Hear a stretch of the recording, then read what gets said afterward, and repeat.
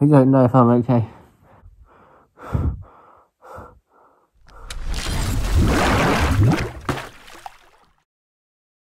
Hello everyone and welcome back to Prestige Reef.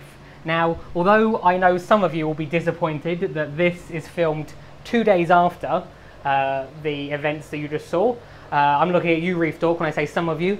So I did obviously survive, uh, but I, so I'm almost, I'm basically almost back to normal. Uh, but it, it definitely took, took it out of me for a few days. So um, I did film some of the events. The reason I, I didn't film a huge amount of it uh, you'll see why I didn't film a huge amount of it, but um, I wanted to just run through with you what happened. Uh, but I appear to have been uh, affected or poisoned essentially by palytoxin. So um, let me run through the events with you on that day, and then I'll show you some clips of some of the brief bits I filmed, uh, and I'll also put add some inf additional information as well in between there. Now, the original reason I came into the fish room that day wasn't even to do any fragging. Uh, my the video I was planning to do uh, was one on copper bands. So many of you will have seen I put a post out saying how do you think I managed to keep seven copper bands alive. Um, so I, I, was, as I said, I was filming uh, some for that video, and then the person that was coming to collect corals that day uh, sent me a message saying they couldn't come. So I had some more time on my hands. So I started filming. Uh, you have to really be in the mood to, uh, to film certain videos. And then I decided that because I've got some spare time, I'm going to do some frags. Now, I mentioned in a previous video, there's certain corals which I have basically let run riot, uh, which I will show you now. Now, before the video continues, it's really important that I let you know that there are millions of people which keep zoas and pallies in their tanks. And in your tank, undisturbed, it is very, very, very incredibly unlikely you're going to have an issue. The issue comes when you do what I do, and you either try to remove them from your tank, or you try to frag them, or cut them up.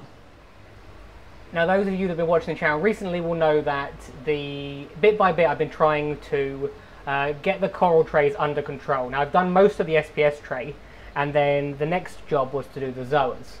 And as you can see, the biggest issue seemed to be the Pandoras, which are growing absolutely out of control. So I started off the week by fragging uh, some of the Utter Chaos and the uh, Pink Diamonds. Uh, I've done a few of the Pandoras, as you can see. Uh, and then, uh, and the other things that were the uh, Granny Applesmiths. I'm not great with Zoa sometimes because there's so many names. and the Woodstocks and the Rainbow ones were the ones I got through basically before I got to what appears to be my nemesis. Now these are what are known as Paligrandis, which are known to be one of the more toxic versions of Pallies and Zoas. Um, and uh, I believe that this is what I what made me sick. So I had a colony of about, as you can see, 20 to 25 of them. I, I broke them up into sort of twos, singles, twos, and threes and uh, when I fragged them, I hadn't I hadn't really seen this before.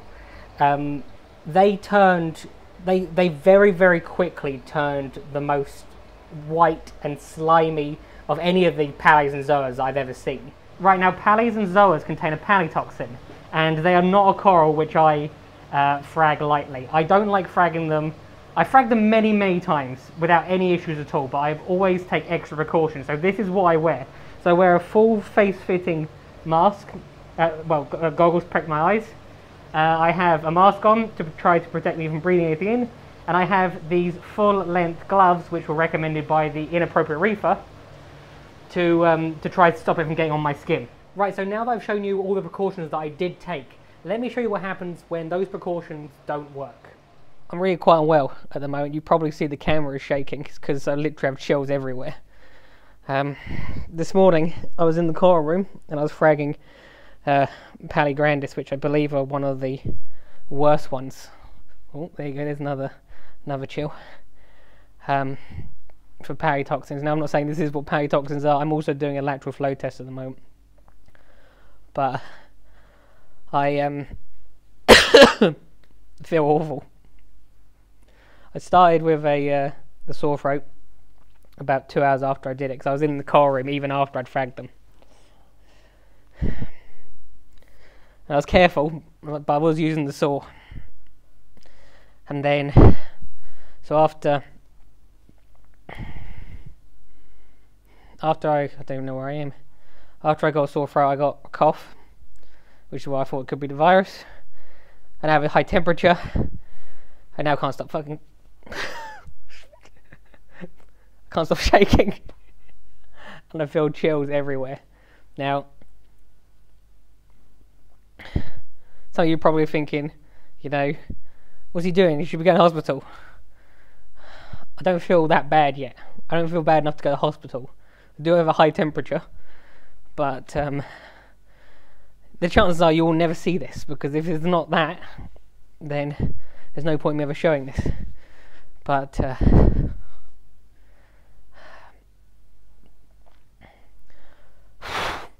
bloody hell, I feel rough. I'm probably going to give it another half an hour.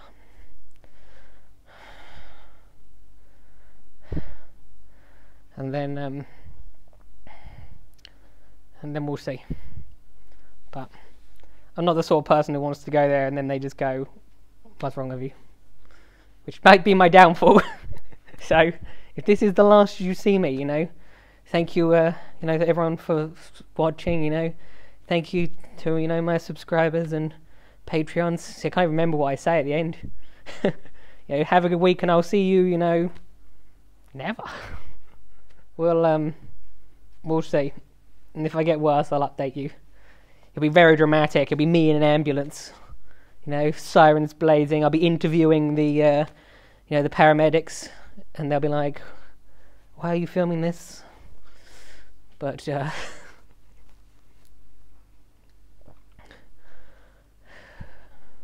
I didn't worry all day until probably till the shaking starts. That's, that was when I started worrying. But the reason, as I said, I filmed this is because you know maybe you've done what I've done, or maybe you're going to do what I did, where fragging Zoas, and maybe you should reconsider it because it, it looks like whatever it is, it's going to be a rough night. So, anyway, I shall um, I shall leave you, and uh, if there's a dramatic sequel to this video, you know, wish me luck.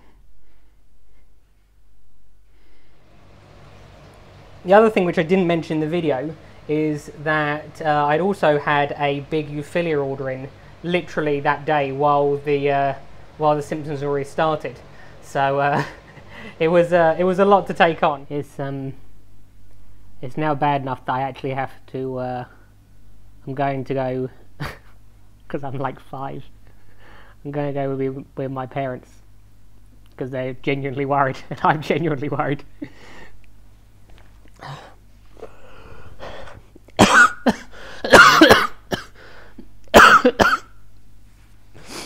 Right now, I didn't really film very much after this point because I really genuinely was very, very sick, like throwing up.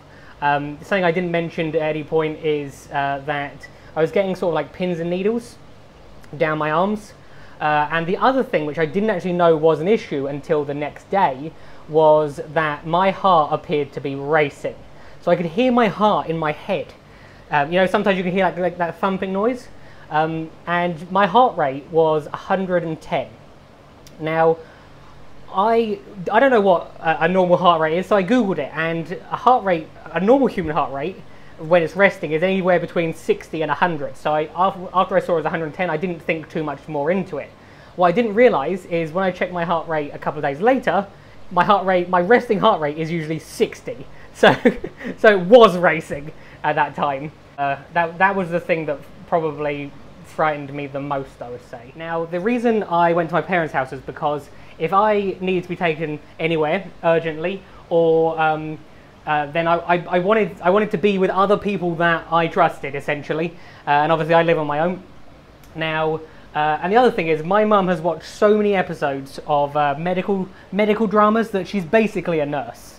So um, I think uh, if, if, if she did need to do anything, she'd be able to do it for me. If she would want to resuscitate me, that's another question.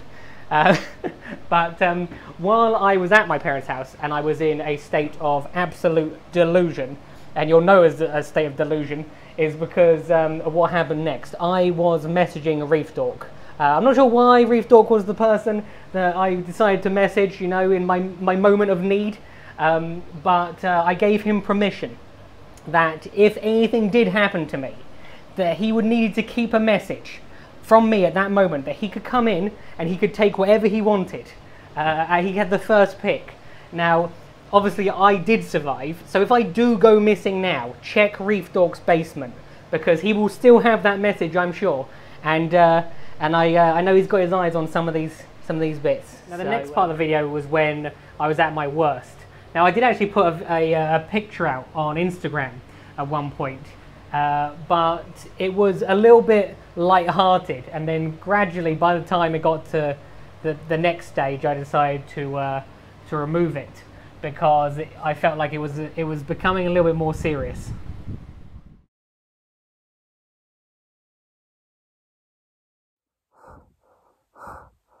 I don't know if I'm okay.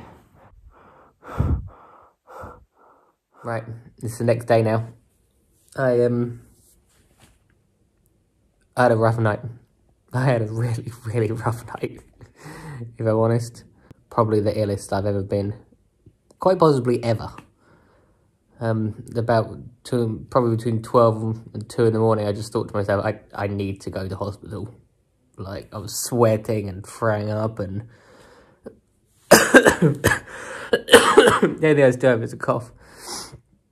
But I'm like one of those old people. You know how they, you know, the whole arm's fallen off, but they sit there, they go, oh, no, I don't want to inconvenience anyone, so I didn't, so they don't, uh, they don't go to, uh, to the doctor, but it, um, it really was quite frightening. So, anyway, if this happens to you, don't be like me.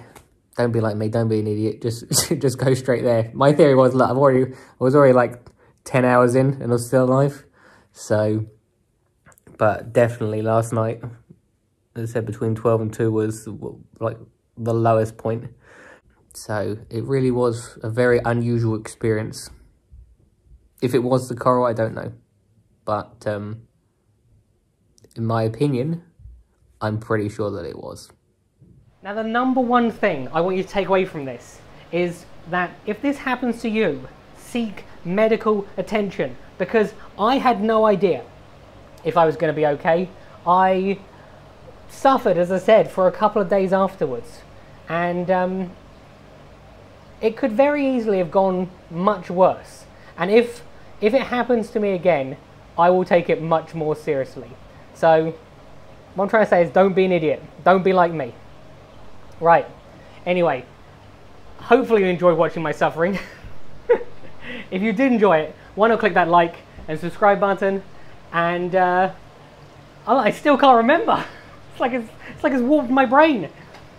If you did enjoy it, why not click that like and subscribe button?